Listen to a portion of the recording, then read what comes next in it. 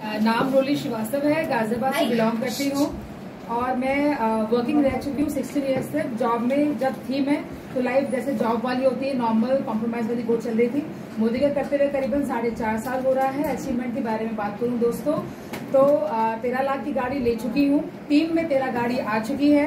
Team में एक घर आ चुका है। मेरा अपना घर खुद का एक नवंबर 2023 में वन सिया प्लस का आ गया है।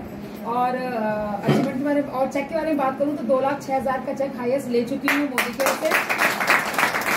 और अपने सक्सेस का अगर मैं मंत्रा बताऊँ दोस्तों तो मैं ना बहुत ज़्यादा दिमाग वाली थी। मैंने अपने आप प्लान का दिमाग बहुत ज़्यादा खाया है। हर्षिता जी एंड राधा को सॉरी बोलूँगी एडवांस में, क्योंकि वो मुझे हमेशा कहते थे सिंपल रहो बेसिक में रहो। लेकिन जो कि लॉयर थी, दिमाग वैसे ही था तो है ना, आपको दिमाग चलाती थी। तो बहुत समय के बाद समझ में आया कि नहीं बैक टू बेसिक्स करना है और अगेन वही सिंपल सिंपल डेली वन करना डेली टू नहीं करती, ज़्यादा करती हूँ मैं।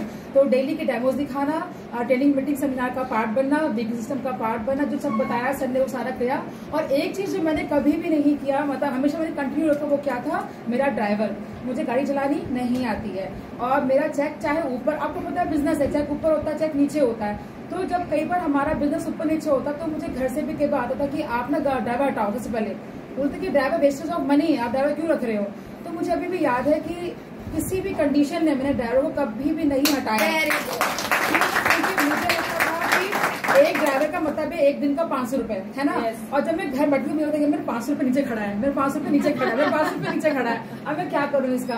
तो ना एक प्रेशर सब बिल्ड होता था और जब आप ड्राइवर को चौदह हज़ार रुपए निकाल के चौदह देती हूँ उसको मैं। जब देती हूँ ना तो सोचती हूँ मैंने यार जो आया वो तो मतलब क्या हो रहा है? ये तो पेट्रोल में गया इसमें गया मेरी सेविंग क्या हो रही है?